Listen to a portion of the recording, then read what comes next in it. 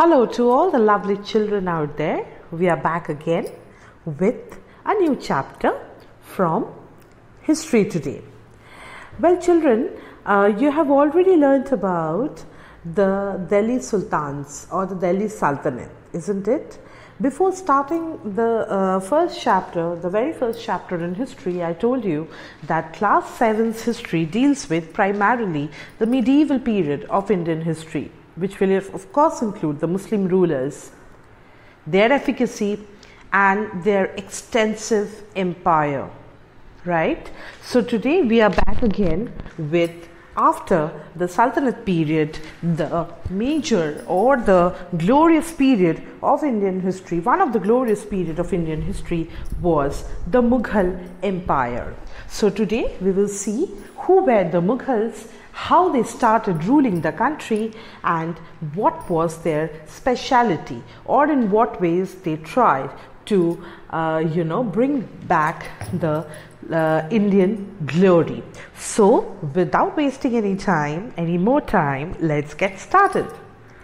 Well, children, uh, we can see that uh, more or less you know about the Mughals, isn't it? In your lower classes, you have read that who was the founder of the Mughal empire? Who was it? Yes, of course, the name that is blinking in your mind that is none other than Babur.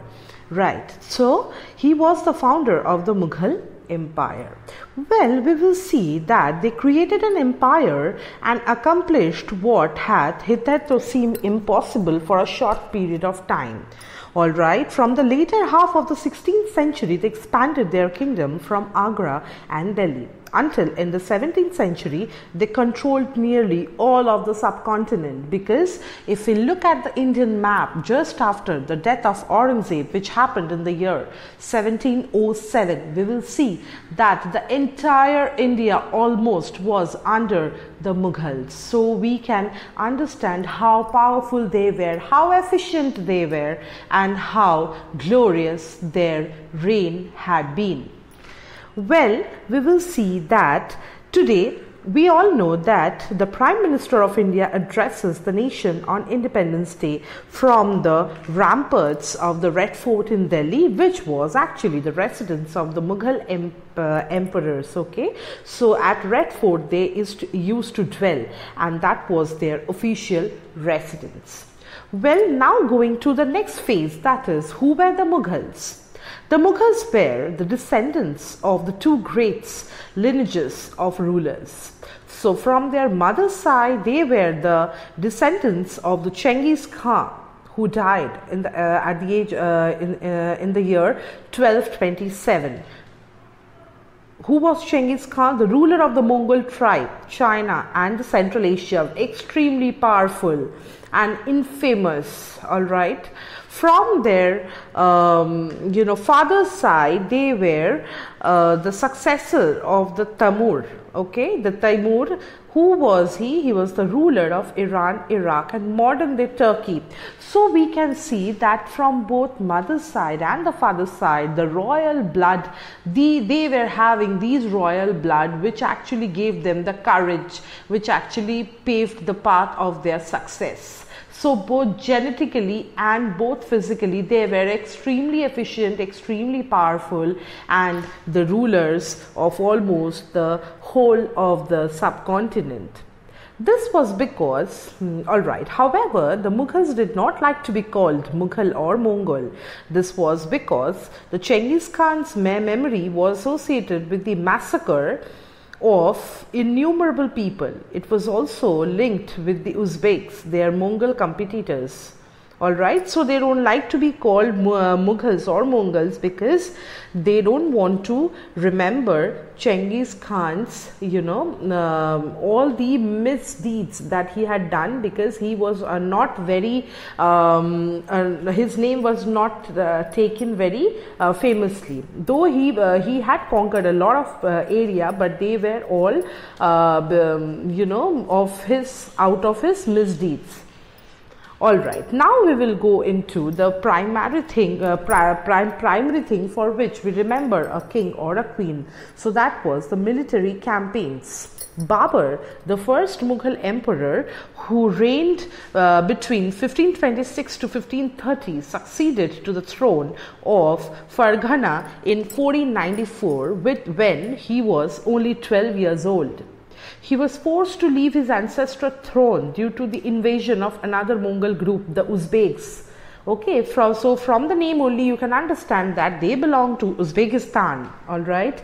So the uzbeks had troubled uh, babur uh, during his um, uh, during his tenure between 1526 to 1530 and uh, for which he had to uh, leave his ancestral throne all right now, after years of wandering, he seized Kabul in 1504. Uh, all right. In 1526, he defeated the Sultan of Delhi, Ibrahim Lodi, at Panipat and captured Delhi and Agra. So that marked the first battle of Panipat in 1526, which was fought between Babur and Ibrahim Lodi, which actually marked the end of the Sultanate period in India and starting of the Mughal dominancy all right? Okay.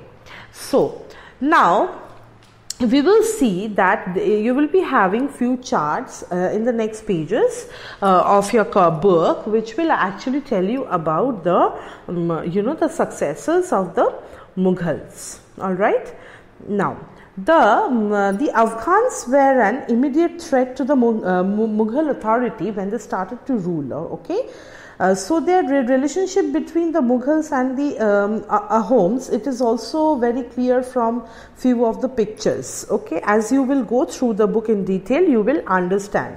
Now there are various tables here, table 1, 2, 3 like that. You will uh, be able to read the name of the successors, their major campaign and events that happened to the different Mughal rulers starting from Babur till Aurangzeb. So do not miss all these things please go through these informations. They will help you to know the rulers better.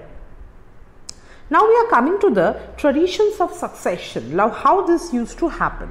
The Mughals did not believe in the rule of primogeniture where the eldest son inherited his father's estate. Okay, so you have learned a new word Remember this. So they did not believe in this, rather, they believed they followed the Mughal and the Timurid uh, customs of mm, uh, inheritance or a, or a division of the inheritance amongst all the sons all right. So they had divided this under uh, um, you know amongst the different uh, sons. So this is that is how they used to follow. That that was their uh, main mm, um, you know rule of the succession now, Mughal relations with other rulers. Now, we will see how were, how were the relations with the other countries. We will notice that the Mughal rulers campaigned constantly against rulers who refused to accept their authority. But as the Mughals became powerful, many rulers also joined them voluntarily.